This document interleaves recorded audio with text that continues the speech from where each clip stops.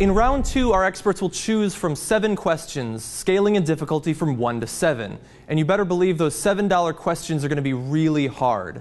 They'll get two questions each, and for each one, they can either answer or push. But if they push and their opponent answers the question correctly, it's the opponent who gets the money. Now, bear in mind, our experts can't lose any money in this round, but if they play smart, they can stop their opponents from making much money. Danny, you have the lowest score currently, so we're going to start with you. Okay, $2. $2 on the lower end. What are you going to do with that? I'm gonna give it to my man Jerome over here. Jerome, your $2 question. In what year was Hong Kong ceded to the English? Oh, God.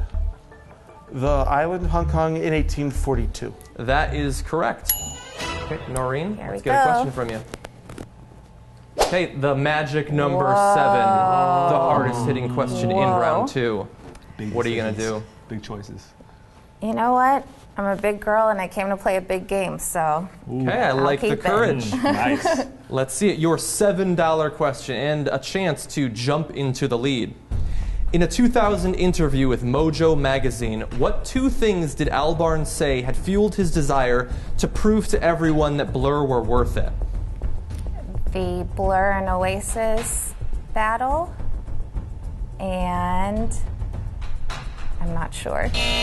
Unfortunately, that's incorrect. The two answers we were looking for were the band Suede and America. Whoa. So, Jerome, your turn to swipe us up a number. Okay, five. Another high value question. Well, if Noreen doesn't mind losing, I don't mind losing. I'm going to go for it. too. Okay, your second question for the round. For $5, what system was used in Imperial China to select the best administrative officials for the state bureaucracy? It's called the examination system, imperial examination. That's correct, the Imperial Examination. And let's see what happens. Six bucks. Six dollars. This is an opportunity for you. You can either answer it or you can pass it to Noreen. I think I gotta take it at this point. Okay, So- your $6 question coming at you. What actress appears as herself in Kevin and Jenny's Mommy and Me class?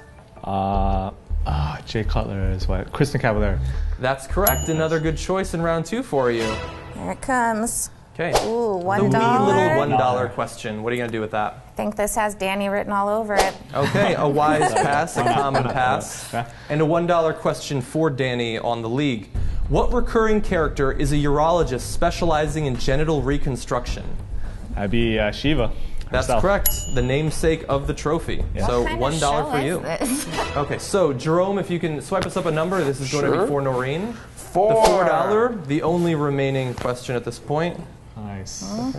Okay, Noreen, your four dollar question. Yes. An orchestra from what country is featured on the song "Out of Time"? Morocco? That's correct. Four dollars for you. So after an eventful second round, we are still in a very close competition here. Let's see what happens in round three.